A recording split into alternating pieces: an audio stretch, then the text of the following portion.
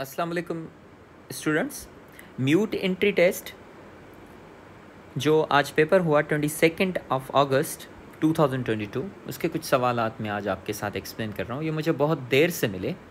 जैसा कि number question number one है टू साइन थ्री एक्स एक फ़ंक्शन है।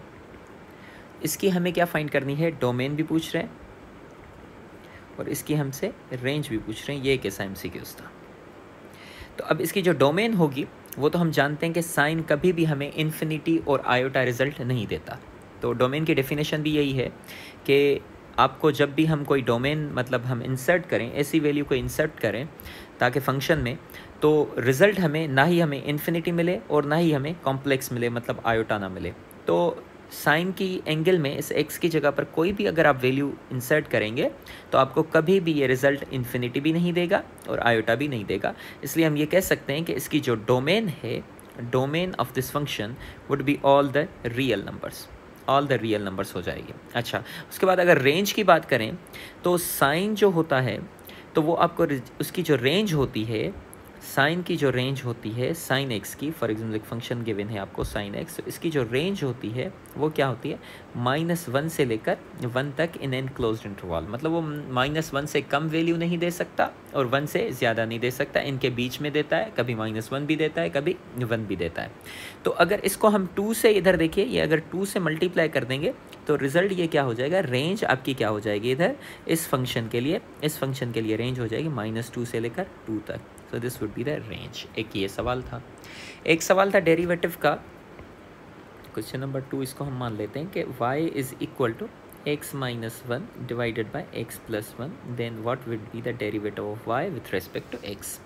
तो इसको हम u मान लेते हैं, इसको हम v मान लेते हैं। तो हमारे पास एक फार्मूला आता है। क्या? v u dash minus u v dash divided by v square तो v हम सेम लिखेंगे, x प्लस वन उसके बाद u का डेरिवेटिव अगर हम निकालें तो इसका डेरिवेटिव सिंपली वन हो जाएगा।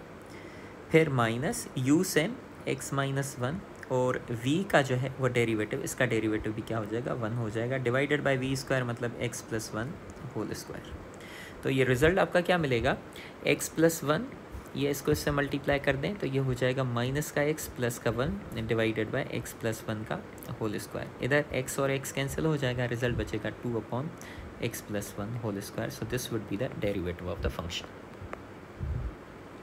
उसके बाद एक सवाल था limit x approaches to minus one एक ऐसा फ़ंक्शन था जो मुझे स्टूडेंट्स ने सेंड किया। फ़ंक्शन तो पता नहीं कैसा था, लेकिन यहाँ पर three x square minus x cube divided by two x in two x ये एक ऐसा फ़ंक्शन इन्होंने दिया है। तो मैं ये कहूँगा कि इस एक्स को और इस एक्स को आप कैंसिल कर दें। ऊपर क्या बचता है? Three x square minus x cube divided by two इसमें अगर आप लिमिट अप्लाई कर दें x approaches to minus one apply limit अगर आप कर देंगे अप्लाई लिमिट का मतलब यह है कि एक्स की जगह पर आप माइनस वन रख दें तो थ्री इंटू माइनस वन का whole square minus minus one का whole cube divided by two तो थ्री इंटू वन माइनस ये हो जाएगा माइनस का वन क्योंकि पावर थ्री ऑड पावर है, इसलिए माइनस वन रिज़ल्ट मिलेगा डिवाइडेड बाई टू तो ये हो जाएगा three minus into minus plus one divided by two तो ये हो जाएगा four divided by two that would be equal to two तो दो टू आंसर आ जाएगा इसका। उसके बाद एक सवाल था कि इन केस अगर इफ़ इसको हम क्वेश्चन नंबर थ्री मान लेते हैं, इसको हम क्वेश्चन नंबर फोर मान लेते हैं। इफ़ कहाँ था? हाँ sine inverse of radical three upon two अगर ये फ़ंक्शन है if theta is equal to this then theta किसके बराबर होगा? एंगल किसके बराबर होगी? तो हम जानते हैं कि अगर हम साइन सिक्सटी डिग्री लिखते हैं ना तो हमें रिज़ल्ट क्या मिलता है? रेडिकल थ्री अपॉइंट टू मिलता है। तो sine inverse of radical thirty degree sorry sine inverse of radical three upon two ये भी सिक्सटी डिग्री के बराबर होगा। अगर हम इसको रेडियंस में कन्वर्ट करेंगे तो पाई बाय थ्री रेडियंस तो कोई भी आंसर इनमें से हो सकता है। उसके बाद एक सवाल था chapter number three general equation of straight line से। इसमें homogeneous equation of pair of two straight lines होती है पासिंग थ्रू ओरिजिन तो a x square plus two h x y plus b y square is equal to zero तो जो दो lines होती हैं, दोनों लाइंस जो ओरिजिन से पास हो रही होती हैं एल वन और ये एल टू इनकी ये कंबाइंड इक्वेशन तो इनके बीच में ये जो एंगल है, ये एंगल किसके बराबर होता है? तो हम जानते हैं कि theta is equal to two into sorry theta is equal to tangent inverse two into radical h square minus a b divided by a plus b के बराबर होता है तो ये फार्मूला होता है हमारे पास। उसके बाद जो है हमारे पास एक सवाल था फ़ंक्शन से। फ़ंक्शन से सवाल ये था कि ये था क्वेश्चन नंबर फोर ये हो जाएगा क्वेश्चन नंबर फाइव अब होगा क्वेश्चन नंबर सिक्स हमारे पास एक सवाल था कि एफ़ ऑफ़ एक्स मान लीजिए एक्स के बराबर है मतलब ये आइडेंटिटी फ़ंक्शन है। उसके बाद एफ़ ऑफ़ जी जो है वो बराबर है एक्स स्क्वायर माइनस थ्री के तो आप बताइए कि एफ़ ऑफ़ इस तरह सा था कि एफ़ ऑफ़ जी किसके बराबर होगा? ये कंपोजिट फ़ंक्शन है। तो हम लिखेंगे f of g would be equal to f of g of x. इधर आप f of g of x किसके बराबर है? X square minus three. और इन केस अगर एफ़ ऑफ़ एक्स जो है एक्स के बराबर है तो सिंपली हम लिखेंगे कि ये भी एक्स स्क्वायर माइनस थ्री के बराबर होगा। So this would be the required answer उसके बाद एक सवाल हमारे पास था कि सब सब्सटीट्यूशन था कि पी ऑफ़ एक्स जो है, ये क्वेश्चन नंबर कौन सा होगा? क्वेश्चन नंबर सेवन होगा। Question number seven p of x जो है, वो बराबर है। ये भी पता नहीं, सवाल जो है, मुझे तो नहीं लग रहा कि ऐसी कोई वैल्यू होगी। लेकिन ऐसा सवाल, बच्चों जैसे वो नोट करते हैं बेचारे, वैसे ही मेरे पास सेंड कर देते हैं minus three x into k minus one into x plus nine अगर ये है और पी ऑफ़ थ्री जो है, वो अगर ज़ीरो के बराबर है तो फिर आप बताइए कि के की वैल्यू क्या होगी? ये सवाल पूछा गया था। अब अगर ये सवाल पूछा गया तो हल कर देते हैं। तो हम इसको पहले पी ऑफ़ थ्री करते हैं। पी ऑफ़ थ्री मतलब जहाँ जहाँ पर भी एक्स है, उसकी जगह पर हम क्या रखेंगे? थ्री रखेंगे। तो ये थ्री का स्क्वायर माइनस थ्री एक्स की जगह पर थ्री के माइनस वन फिर से एक्स की जगह पर थ्री प्लस नाइन आ जाएगा। अब हम जानते हैं कि सर ये पी ऑफ़ थ्री किसके बराबर है? ज़ीरो के बराबर है तो इसकी जगह पर ज़ीरो लिख लो। ये क्या हो जाएगा? नाइन ये भी हो जाएगा nine into k minus one into three plus nine तो ये हो जाएगा zero is equal to nine minus twenty seven into k minus one plus nine तो अब ये जो नाइन और नाइन कितने हो जाएँगे? Zero is equal to eighteen minus twenty seven into k minus one अब ये जो पूरा का पूरा टर्म है, इसको अगर हम लेफ़्ट हैंड साइड पे ले जाएँगे तो ये माइनस का है प्लस का हो जाएगा twenty seven into k minus one is equal to eighteen अब ये ट्वेंटी सेवन उधर जाएगा तो डिवाइड कर देगा तो k minus one is equal to eighteen divided by twenty seven divide करेगा तो k minus one is equal to ये हो जाएगा टू अपॉन थ्री क्योंकि नाइन की टेबल लग जाएगी। अब माइनस का वन उधर जाएगा तो प्लस का होगा।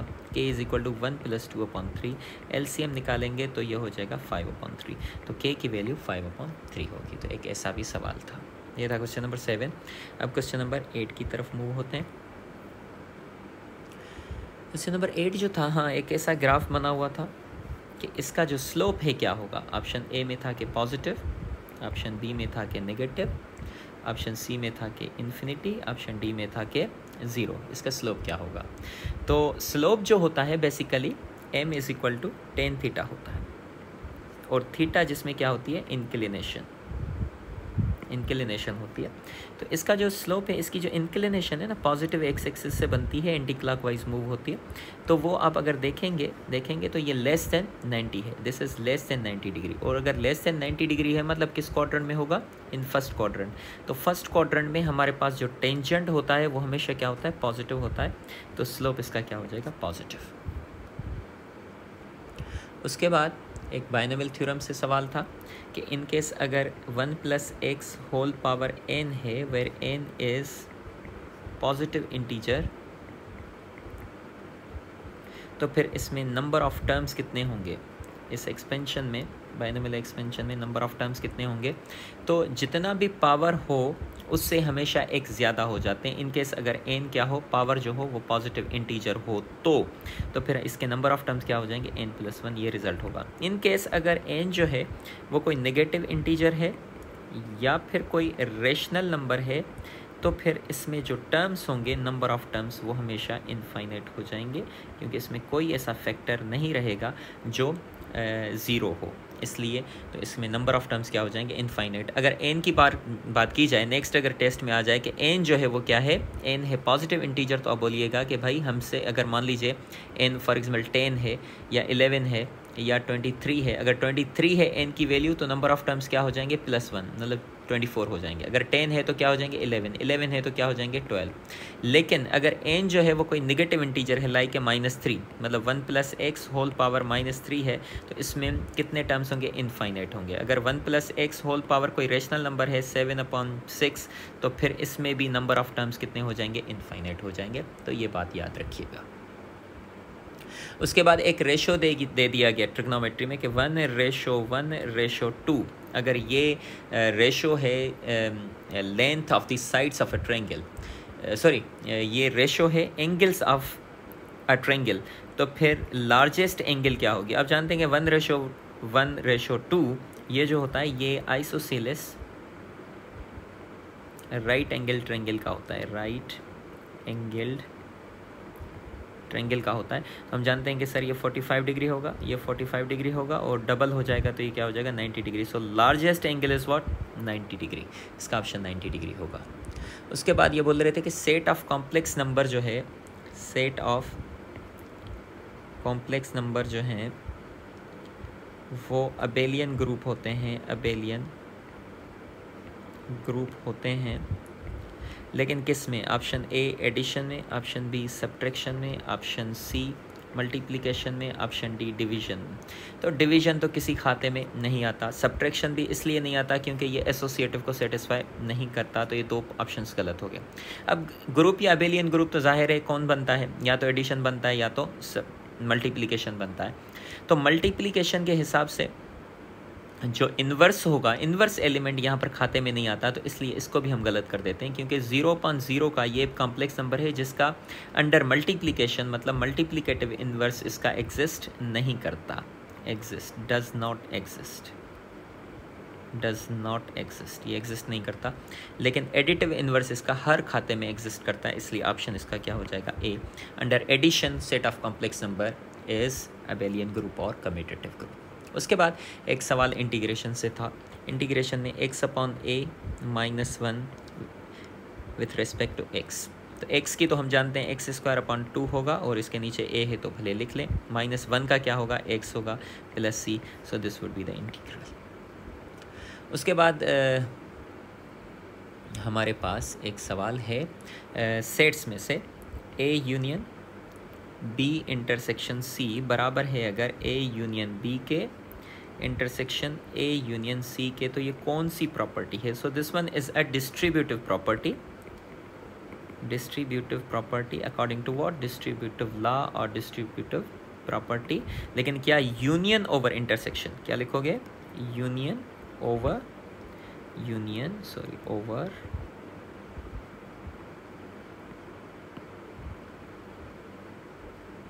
intersection ठीक है? उसके बाद हमारे पास एक और सवाल था बायनमिल थ्योरम से एक और सवाल आ गया था कि a upon x minus x upon a whole power कितना है? टेन तो फिर सर इसका टी फोर फोर्थ टर्म क्या होगा? तो हम क्या कहेंगे कि अगर ए की वैल्यू इधर क्या है, इसको कंपेयर करोगे a plus b whole power n a की जगह पर क्या लिखा हुआ है? ए अपॉन एक्स बी की जगह पर क्या लिखा हुआ है? Minus x upon a n की जगह पर क्या लिखा हुआ है? टेन और हमें टर्म कौन सा चाहिए? फोर्थ टर्म इसका मतलब ये है कि आर की वैल्यू क्या होगी? थ्री होगी। तो फार्मूला है हमारे पास t r plus one is equal to n combination r a power n minus r b power r तो हम टी आर की वैल्यू कितनी है? थ्री है। तो थ्री प्लस वन रखेंगे इज़ इक्वल टू एन की वैल्यू कितनी है? टेन है। तो टेन कॉम्बिनेशन थ्री रखेंगे। ए किसके बराबर है? ए बराबर है ए अपॉन एक्स के। होल पावर हम लिखेंगे टेन माइनस थ्री बी की जगह पर लिखेंगे माइनस एक्स अपॉन ए क्योंकि बी की value minus x upon a और आर की वैल्यू कितनी है? थ्री है। तो ये मिलेगा आपको fourth term is equal to ten combination three का मतलब है टेन को तीन दफ, तीन टाइम्स एक्सपेंड करते जाओ। Ten into nine into eight और नीचे क्या है? थ्री है मतलब थ्री फैक्टोरियल है। इसको ऐसा लिखो। ये क्या हो जाएगा? ए पावर सेवन होगा और एक्स पावर सेवन होगा। मल्टीप्लाई बाय ये क्या हो जाएगा? माइनस एक्स पावर थ्री होगा और ए पावर थ्री होगा। इधर आपके पास टू की टेबल, इधर फोर टाइम्स थ्री की टेबल, इधर थ्री टाइम्स थ्री फोर जो twelve twelve into ten one twenty हो जाएगा। इस माइनस की वजह से ये माइनस होगा। इधर थ्री और ये कैंसिल होकर ए पावर फोर बनेगा और थ्री इधर ये कैंसिल बनकर एक्स पावर फोर बनेगा। So this will be the fourth term ये जवाब हो जाएगा। उसके बाद अगर हम थोड़ा आगे चलें तो एक सीक्वेंस दी गई थी। माइनस वन का कामा वन माइनस वन का कामा वन तो इसका जनरल टर्म पूछ रहे थे कि जनरल टर्म इसका क्या होगा? तो जनरल टर्म इसका हो जाएगा minus one power n where n belongs to set of natural numbers अगर एन की वैल्यू आप सेट ऑफ़ नेचुरल नंबर्स रखते हो तो आपको ये रिज़ल्ट मिलेगा। मान लीजिए माइनस वन पे पावर अगर हम वन रखते हैं तो रिज़ल्ट क्या होगा? वन ऑड है, इसलिए माइनस वन रिज़ल्ट होगा। माइनस वन पे पावर टू रखते हैं तो ज़ाहिर है ये इवन है तो ये पॉजिटिव वन हो जाएगा। माइनस वन पे पावर थ्री रखते हैं तो ये ऑड है तो माइनस वन होगा। माइनस वन पे पावर फोर रखते हैं इवन है तो वन होगा। माइनस वन पे पावर फाइव है तो माइनस वन क्योंकि आड है। माइनस वन पे पावर सिक्स इवन है तो वन होगा। तो सीक्वेंस आपकी क्या बनेगी? माइनस वन फिर plus one minus one plus one minus one plus one इसका जनरल टर्म क्या होगा? ये होगा minus one whole power n where n belongs to set of natural numbers उसके बाद एक परमुटेशन कॉम्बिनेशन से सवाल दिया गया। थोड़ी सी लेवल ये हाई करते जा रहे हैं। मैं आपको बता दूँ कि जो भी नेक्स्ट टेस्ट देने जा रहे हैं तो वो थोड़ी सी अपनी तैयारी बहुत अच्छी रखें। क्योंकि ये सवाल मतलब इतने आसान नहीं दे रहे। The seven books in total seven books हैं seven books in total out of out of seven two are algebra and calculus ये हमारे एक एक्सरसाइज का भी सवाल है calculus find the number of ways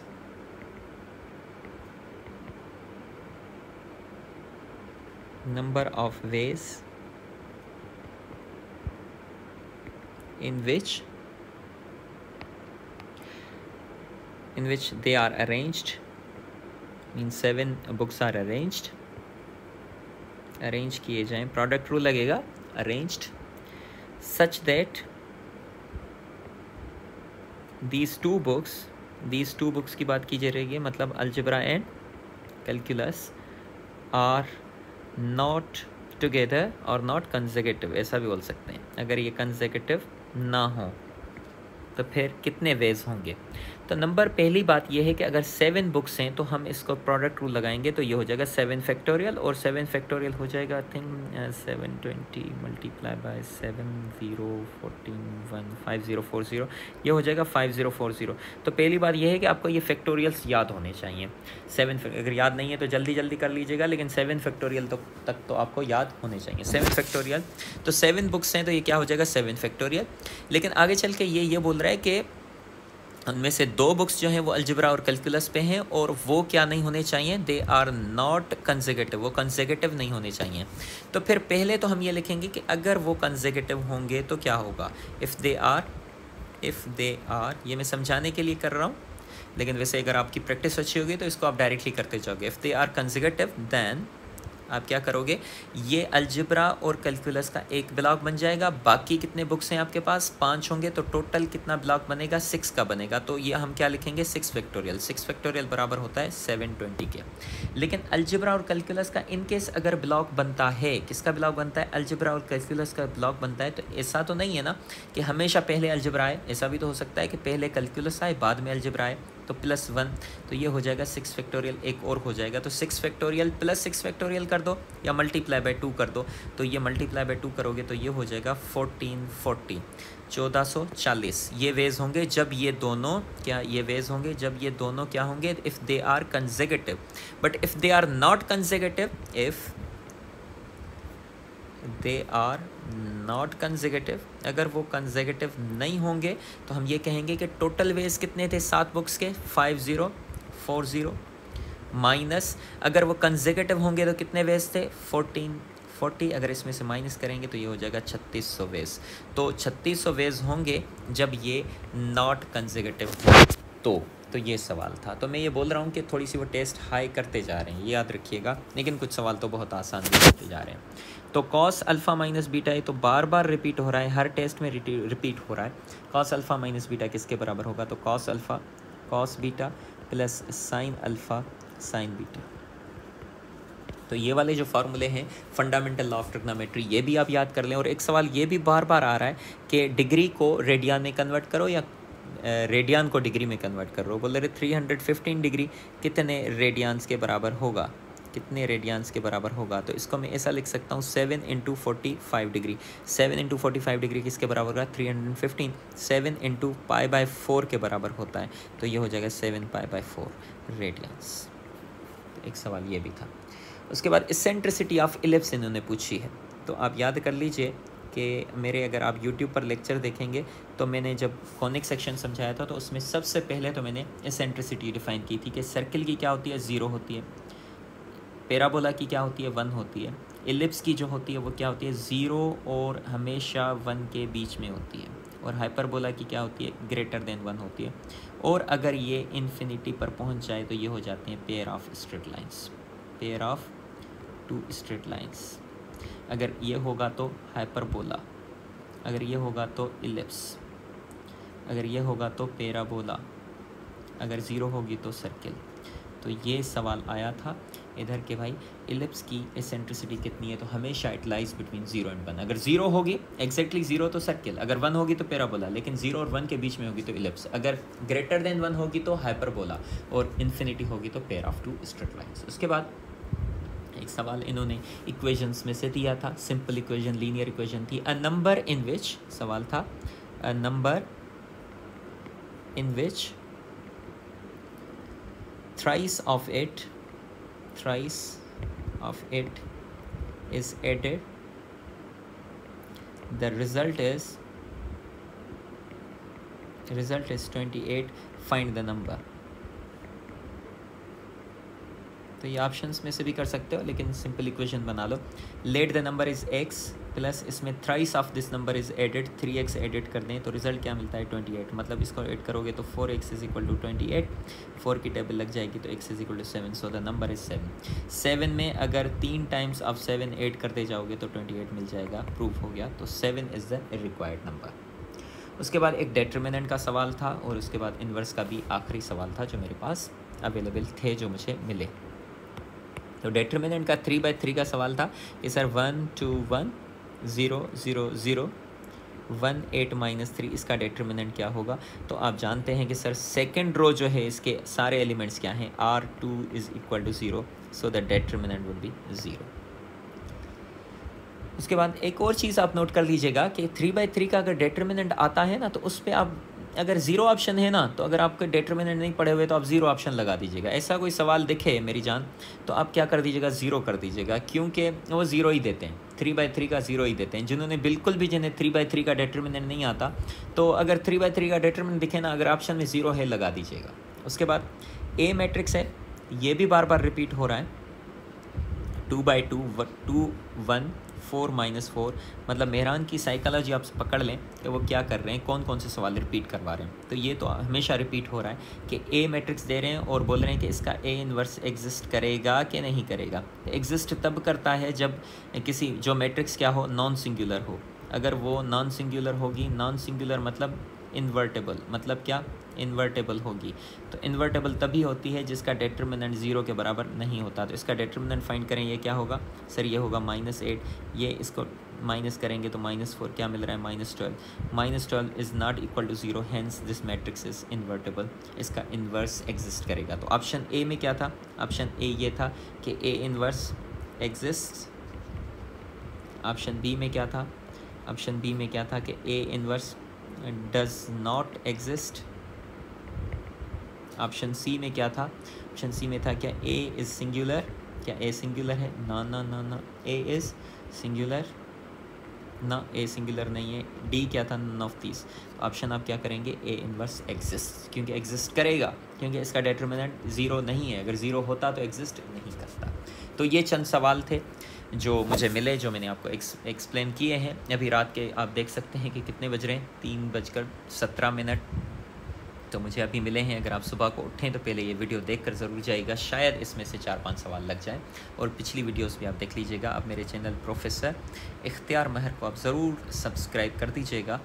और कल जो भी बच्चे पेपर देने जा रहे हैं, काइंडली मेरे व्हाट्सअप नंबर पर zero double three one two six double seven one three two पर जल्दी ही जितने भी सवाल आपसे याद होते हैं, मैथमेटिक्स के तो वो आप मुझे सेंड कर दीजिएगा। थैंक यू वेरी मच, अल्लाह हाफिज़।